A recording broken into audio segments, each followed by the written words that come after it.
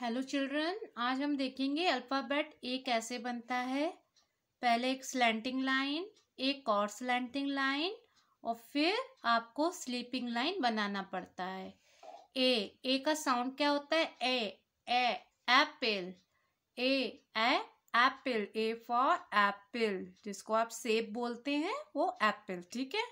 चलिए अभी सीखें कैसे बनता है। तो फ़र्स्ट हम लोग slanting line left slanting line और स्लीपिंग लाइन।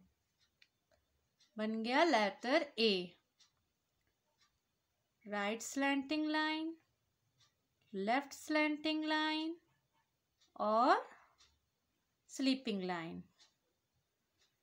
स्लैंटिंग लाइन, पहले मैंने आपको लाइन सिखाया ना? Line, sleeping line. right slanting line left slanting line और फिर स्लीपिंग लाइन